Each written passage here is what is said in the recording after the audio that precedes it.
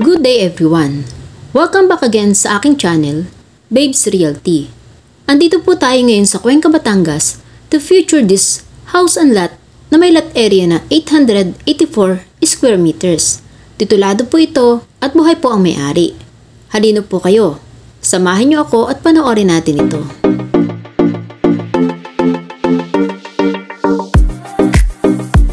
Ito na po yung property. Yan po nakikita nyo ay ang harapan ng bahay ni owner. At kung inyo pong mapapansin, ay napakalawak pa ng espasyo dito sa unahan at kung gusto nyo magpatayo pa ng isa pang bahay, ay pwedeng pwede pa rin po.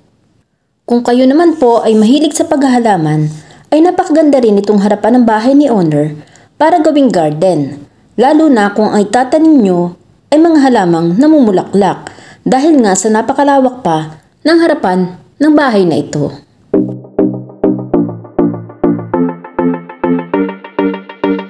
Sa ngayon po ay medyo madamo ang harapan ng bahay na ito.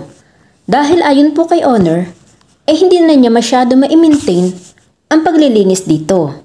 Dahil bukod po sa panahon ngayon ng tag-ulan, kaya mabilis ang paglago ng damo, ay busy po lagi si owner sa kanyang trabaho sa labas.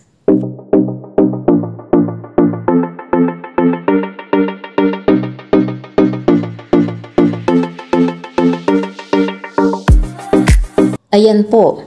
Habang pinapanood niyo po ang property, ay pag-usapan muna natin ang presyo. Ito po ay binebenta ni owner sa halagang 6.5 million pesos. Pero ito naman daw po ay slight negotiable pa ayon kay owner. Kaya kung interesado po kayo dito, ay pwede niyo po siyang kausapin ng personal para inyo po itong mapag-usapan.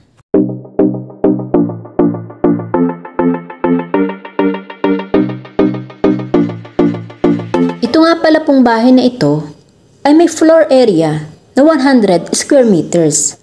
Bungalow type po ito at may dalawang bedrooms. Pero ayon po kay owner, ito daw po ay may nakaabang para sa second floor para kung sakaling gusto nyo palagyan ng itaas, ay pwedeng pwede naman po.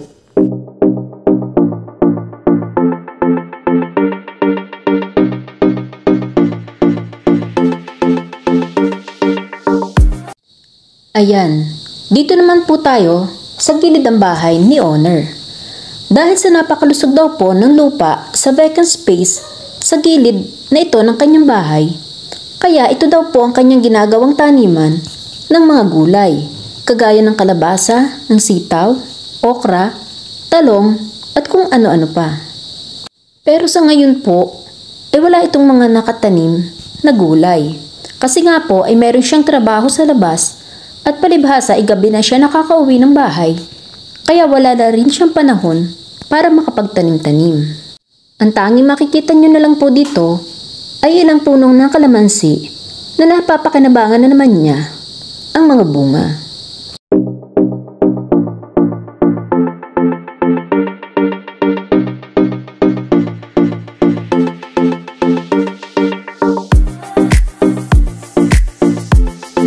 Ito po yung terrace ni Honor. Hindi na muna may ipakita ang loob ng bahay niya. Dahil sa biglaan ng pagbisita namin sa kanya, kaya hindi niya napaghandaan para ito ay ayusin. Ayan po.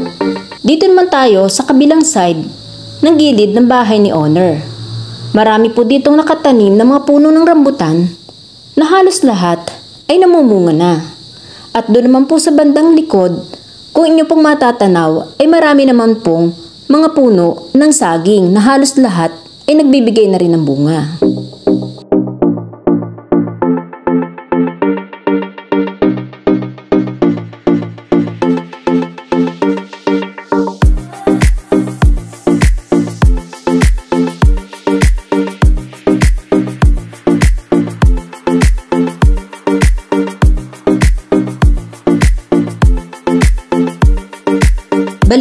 Muna po ulit natin ang unahang bahagi ng bahay ni owner.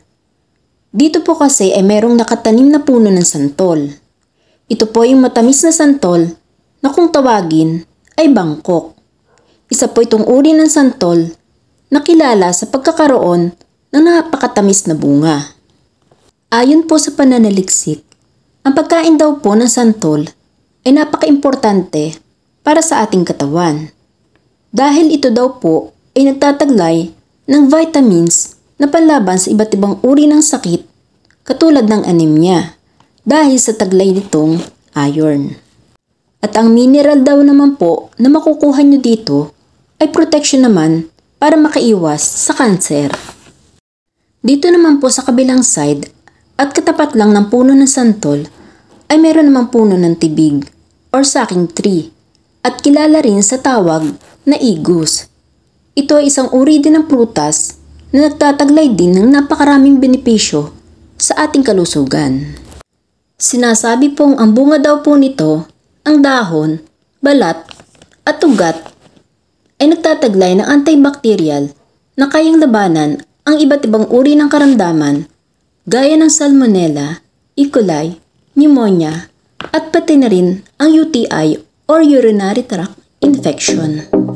Nakatutulong din daw po ito para sa mga taong may asthma, ubo, and other respiratory condition. Ito pong tibig ay tinatawag din na water tree dahil kapag daw po sinugatan ang katawan nito ay may lumalabas na tubig dito na mabisang gamot naman para sa sakit ng ngipin, pamabaga at kirot ng katawan at tumutulong din po ito para mapababa ang lagnat ng isang tao.